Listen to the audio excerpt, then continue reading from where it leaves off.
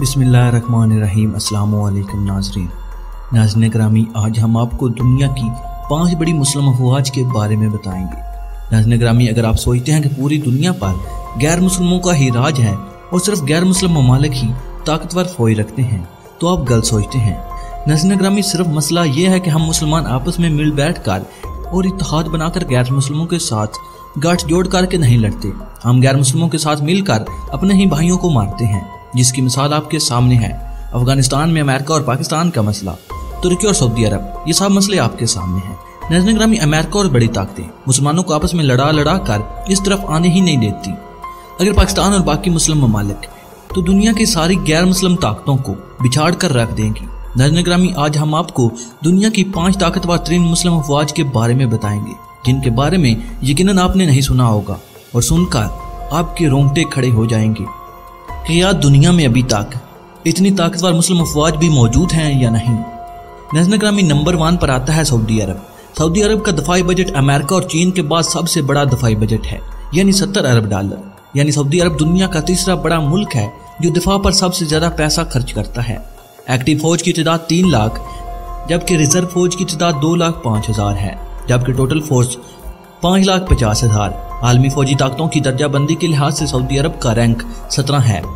سعودی عرب کی فوج کے پاس تین ہزار ٹینک، توپوں کی تعداد انیس ہو جبکہ آٹومیٹک لوڈنگ سسٹم توپوں کی تعداد ایک سو بیس ہے۔ سعودی عرب کے پاس دو سو اٹھارہ ہیلی کاپٹر بھی موجود ہیں۔ بلاسٹک میزائلوں کی اگر بات کی جائے تو سعودی عرب کے پاس چین کا بنا ہوا D F three ballistic missile ہے جس کی رینج چار ہزار کلومیٹر ہے یہ میزائل تیس کی تعداد میں سعودی عرب کے پاس ہے دوسرا missile D F twenty one کی رینج ایک ہزار سات سو کلومیٹر ہے۔ اس کی تعداد کنفرم نہیں، لیکن یہ میزائل چین کا بنا ہوا ہے۔ پیٹریٹ میزائل سسٹم جو سعودی عرب نے امریکہ سے خریدا ہے۔ کروز میزائل کے حوالے سے ابھی تک کوئی بھی معلومات سامنے نہیں آئی، لیکن یہ بتایا جاتا ہے کہ پاکستانی کروز میزائل بابر کا سعودی عرب مستقبل میں خریدار بن سکتا ہے، جبکہ ٹیکنیکل میزائلوں میں حریم نامی میزائل موجود ہے، جو کہ دو سو اسی کلومیٹر سے پانچ سو کلومیٹر تک مار کر سکتا ہے۔ نمبر ٹو مصر۔ مصر کی ایکٹیو فوج کی تعداد چار لاکھ چالیس ہزار، ریزرو فوج کی تعداد پانچ لاکھ، کل ملا کر نو لاکھ چالیس ہزار۔ مصر کا بجٹ تیرہ اشاریہ پانچ ارب ڈالر۔ عالمی طاقتوں کی درجہ بندی کے لحاظ سے مصر کا رینک پندرہ ہے۔ مصری فوج کے استعمال میں ٹینکوں کی تعداد چار ہزار چھ سو، توپیں دو ہزار تین سو۔ جبکہ خودکار نظام سسٹم توپوں کی تعداد نو سو ہے۔ جبکہ مصری فوج کے پاس چھوٹے بڑے سبھی ہیلی کاپٹر ملا کر تین سو پچاس بنتے ہیں۔ ملٹی راکٹ سسٹم کی تعداد چھ سو ساٹھ ہے۔ بلاسٹک میزائل مصر نے روس اور شمالی کوریا سے خریدے ہیں، جن کی زیادہ سے زیادہ رینج تین سو سے سات سو کلومیٹر تک بتائی جاتی ہے، جبکہ ٹیکٹیکل میزائلوں میں جو کہ روس اور امریکہ کے ساتھ مل کر بنائے گئے، ان کی رینج تین سو سے پانچ سو کے درمیان ہے، جبکہ اینٹی میزائل سسٹم اور کروز میزائلوں کے حوالے سے کچھ واضح انفارمیشن نہیں۔ نمبر تھری پر آتا ہے ایران۔ ایران کی ایکٹیو فوج کی تعداد چھ لاکھ دس ہزار، ریزرو فوجیوں کی تعداد تین لاکھ پچاس ہزار، بجٹ بیس ارب ڈالر۔ عالمی درجہ بندی کے لحاظ سے ایران کا رینک تیرہ ہے۔ ایرانی فوج کے پاس ٹینکوں کی تعداد تیئیس سو ساٹھ ہے۔ توپوں کی تعداد سینتیس سو ہے، جبکہ خودکار نظام سسٹم توپوں کی تعداد چھ سو پینسٹھ ہے۔ ایرانی فوج کے پاس ہیلی کاپٹروں کی تعداد دو سو بارہ ہے، جبکہ ملٹی راکٹ لانچر سسٹم کی تعداد پانچ سو اسی ہے۔ ایرانی میزائلوں کی فہرست تعویل ہے اور زیادہ تر میزائل ایران نے شمالی کوریا اور روس کے ساتھ مل کر بنائے ہیں۔ میدانی جنگ میں استعمال ہونے والے ٹیکٹیکل میزائلوں کی بات کریں تو ان کی رینج ایک سو ساٹھ سے ایک سو پچاس کلومیٹر تک ہے، جن کا نام زلزار ہے۔ زلزار وان کی رینج 150 کلومیٹر سے 160 کلومیٹر تک ہے۔ زلزار ٹو کی رینج 200 کلومیٹر۔ زلزار تھری کی رینج 250 کلومیٹر۔ کروز میزائلوں کی اگر بات کریں تو ایران کے پاس ایک ہی کروز میزائل ہے، جس نے روس کی مدد سے تیار کیا۔ ایران کا سرمارک میزائل 2500 کلومیٹر کی رینج تک مار کر سکتا ہے۔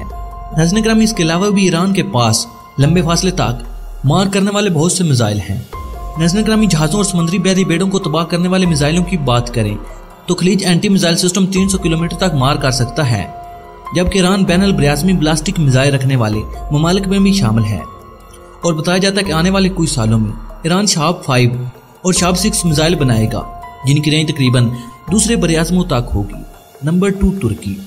ترکی کی ایکٹیو فوج کی تعداد تین لاکھ پینسٹھ ہزار، ریزرو فوج کی تعداد تین لاکھ اسی ہزار۔ ٹوٹل فوج سات لاکھ پینتالیس ہزار۔ ترکی کا بجٹ چوبیس ارب ڈالر ہے۔ عالمی طاقتوں کی درجہ بندی میں ترکی کا نمبر بارہ ہے۔ ترکی فوج کے پاس ٹینکوں کی تعداد چونتیس سو ساٹھ ہے، جبکہ توپوں کی تعداد دو سو پچاس۔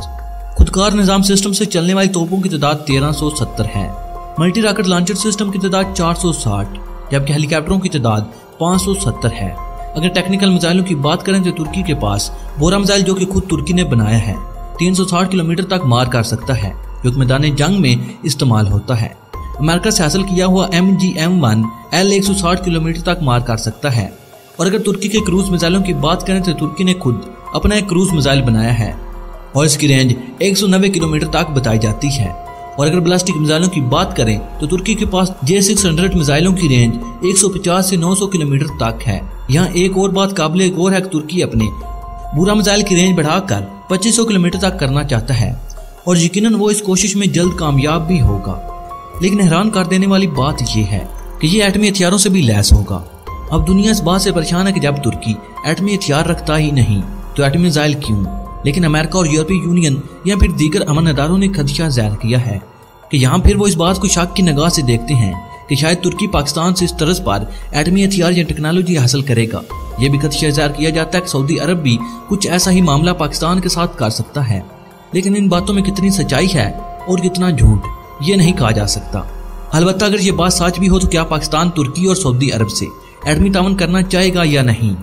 آپ اپنی رائے کا ہزار کمنٹ باکس میں ضرور کیجیے گا، کیونکہ پاکستان کی طرف سے ابھی تک اس بات کی تصدیق یا تردید نہیں کی گئی۔ اور نہ ہی پاکستان کی مقامی سیاست یا پاکستانی فوج نے اس حوالے سے کبھی کوئی بات کی۔ تاہم عالمی میڈیا پر مختلف قسم کی افواہیں گردش کر رہی ہیں۔ چلو جی نمبر ون پر آتا ہے مسلم دنیا کا واحد اور اکیلا بادشاہ، جسے اسلام کا قلعہ کہا جاتا ہے۔ میرا مطلب ہے کہ پاکستان، جس نے کل ہی آزاد ہو کر پوری دنیا کو ہلا کر رکھ دیا اور پوری دنیا کے چھکے چھڑا دیے، نہ تو پاکستان کی معاشی حالت اتنی مضبوط ہے اور نہ ہی کوئی پاکستان سونا برامد کرتا ہے اور نہ ہی کوئی تیل برامد کرتا ہے۔ لیکن پھر بھی پاکستان نے ہر حوالے سے پوری دنیا کو لرزا رکھا ہے۔ چاہے وہ ایٹم بم بنانے کے حوالے سے ہو یا پھر فائٹر جیٹ کے حوالے سے یا پھر میزائل ٹیکنالوجی کے حوالے سے ہو، پاکستان خود کو ہر طرف سے طاقتور ترین افواج کی لسٹ میں شامل کر چکا ہے۔ اور پوری دنیا سمیت تمام عالمی طاقتیں اس بات کو مانتی ہیں کہ پاکستان کل ہی آزاد ہو کر آج ہمارے برابر کھڑا ہے۔ اگر پاکستان امریکہ، روس یا ہریانہ کا مقابلہ نہیں کر سکتا، تو یہ ممالک بھی پاکستان سے جنگ کرنے کا کبھی نہیں سوچیں گے۔ کیونکہ پاکستان کے ایک بٹن دبانے سے دنیا تو گئی۔ پاکستان مسلم دنیا کا اکلوتا نیوکلیر پاور اور دنیا کی چھٹی بڑی نیوکلیر پاور ہے، جس کے پاس 130 سے 170 کے درمیان نیوکلیر ویپن ہے اور عالمی تجزیہ کار یہ دعویٰ کرتے ہیں کہ پاکستان جس رفتار سے اپنے جوری ہتھیار بنا رہا ہے۔ آئندہ آنے والے چار سالوں تک پاکستان فرانس کو بھی پیچھے چھوڑ دے گا، جس کے پاس تقریباً دو سو پچیس کی تعداد میں نیوکلیر ہتھیار ہیں۔ نظر گرامی پاکستان کے پاس مسلم دنیا کی سب سے بڑی فوج ہے، جبکہ دنیا کی پانچویں بڑی فوج پاکستان کے پاس ہے۔ پاک فوج کی ایکٹیو تعداد چھ لاکھ پچاس ہزار، جبکہ ریزرو فوج کی تعداد پانچ لاکھ ساٹھ ہزار، جبکہ ٹوٹل افواج کی تعداد بارہ لاکھ ستر ہزار ہے۔ اور ناظرین گرامی، اب جو بات میں کرنے لگا ہوں، یہ تمام پاکستانیوں کے لیے فخر کی بات ہے۔ لیکن اس کے ساتھ ساتھ اس بات نے پوری دنیا کو ہلا رکھا ہے۔ نظر گرامی دنیا کو یہ صرف اکلوتی بات ہی ورتہ حیرت میں مبتلا کر دینے کے لیے کافی ہے کہ پاکستان کا بجٹ صرف اور صرف گیارہ بلین ڈالر ہے اور پاکستان کا عالمی درجہ بندی کے لحاظ سے رینک دس ہے۔ ناظرین، آپ نے پہلے سنا ہوگا کہ ویڈیو میں میں نے آپ کو بتایا کہ سعودی عرب دفاعی بجٹ کے لحاظ سے دنیا کے تیسرے نمبر پر آتا ہے، لیکن عالمی درجہ بندی کے لحاظ سے اس کا رینک سترہ ہے۔ تو اب آپ یہ اندازہ لگا سکتے ہیں کہ ہماری پاک فوج اور ہمارے سائنسدان اور ہمارے انجینئر کتنے قابل ہیں۔ نظر محترم، پاکستان دنیا کی آٹھویں بڑی میزائل طاقت ہے۔ پاکستان کے پاس ہر قسم اور ہر نوعیت کے میزائل موجود ہیں۔ اور ان میزائلوں کی خاص بات یہ ہے کہ یہ سبھی میزائل ایٹمی میزائل کہلاتے ہیں یعنی ایٹمی حملہ کرنے کی صلاحیت رکھتے ہیں۔ جبکہ پاکستان مسلم دنیا کی سب سے بڑی میزائل طاقت ہے۔ اور ان میں سب سے زیادہ خطرناک میزائل ابابیل ہے، جو کہ M I R V technology سے لیس ہے۔ یعنی یہ میزائل فضا میں بلند ہونے کے بعد آٹھ مختلف اہداف کو نشانہ بنا سکتا ہے اور یہ میزائل سب سے زیادہ خطرہ بھارت کے لیے ہے۔ پاکستان کے پاس ٹینکوں کی تعداد تین ہزار دو سو اڑتالیس ہے، جبکہ پانچ سو جدید ٹینک دو ہزار اکیس تک پاکستان کو مصول ہو چکے ہوں گے۔ توپوں کی تعداد بائیس سو ہے، جبکہ خودکار نظام سے چلنے والی توپوں کی تعداد آٹھ سو بارہ ہے۔ یہاں قابل ذکر بات یہ ہے کہ ان توپوں میں دو سو ساٹھ توپے، جو کہ ایٹمی گولہ فائر کرنے کی صلاحیت رکھتے ہیں۔ اور اس نوعیت کی توپیں پوری دنیا میں صرف پانچ ممالک کے پاس ہیں اور مسلم دنیا میں صرف پاکستان کے پاس یعنی بھارت کے پاس بھی ایسی کوئی توپ نہیں۔ ملٹی راکٹ لانچر سسٹم کی تعداد چار سو گیارہ ہے، جبکہ پاک فوج کے پاس ہیلی کاپٹروں کی تعداد چار سو پینسٹھ ہے، جبکہ ایک سو دس مزید ہیلی کاپٹر بھی اگلے سال کے آخر تک پاک فوج کو مل جائیں گی۔ جن کا آرڈر پاکستان نے ابھی سے دے رکھا ہے۔ تو ناظرین گرامی اب آپ کو پاکستان کی میزائل ٹیکنالوجی کے بارے میں تفصیل سے آگاہ کرتے ہیں۔ سب سے پہلے ٹیکنیکل میزائلوں کی بات کریں۔ یعنی کہ میزان جنگ میں استعمال ہونے والے میزائل۔ ناظرین گرامی، نمبر ون پر آتا ہے عطف میزائل، جس کی رینج پچاس کلومیٹر تک ہے۔ نمبر دو پر نصر میزائل، جو کہ ستر کلومیٹر تک مار کر سکتا ہے۔ اور یہ ایک نیوکلیر ٹیکنیکل میزائل ہے۔ یعنی اس کے اوپر چھوٹا سا ایٹمی ہتھیار لگا کر بھی حملہ کیا جا سکتا ہے۔ ابدالی میزائل۔ ابدالی میزائل کی رینج دو سو کلومیٹر ہے۔ ناظرین کرامی آپ بات کرتے ہیں شارٹ رینج میزائلوں کے بارے میں۔ نمبر ون پر آتا ہے گزمنی میزائل۔ نمبر ون پر آتا ہے گزنوی میزائل۔ جس کی رینج تین سو کلومیٹر ہے، جبکہ شہین وان کی رینج سات سو پچاس کلومیٹر سے لے کر نو سو کلومیٹر تک ہے۔ جبکہ درمیانے فصل تک مار کرنے والے میزائلوں میں گوری وان جس کی رینج پندرہ سو کلومیٹر ہے، گوری ٹو جس کی رینج اٹھارہ سو سے بائیس سو کلومیٹر تک ہے، شہین ٹو کی رینج دو ہزار سے پچیس سو کلومیٹر تک ہے، جبکہ شہین تھری کی رینج ستائیس سو پچاس کلومیٹر تک بتائی جاتی ہے، اور یہ کنفرم نہیں کہ اس کی رینج کتنی ہے۔ پاکستان نے اس کی جو رینج شو کی ہے، وہ ستائیس سو پچاس کلومیٹر تک بتائی جاتی ہے۔ اور اب ہم بات کرتے ہیں سب سے عام اور خطرناک ترین M I R V technology سلیس Ababeel missile کے بارے میں، جس کی رینج تین ہزار سے چار ہزار کلومیٹر تک ہے۔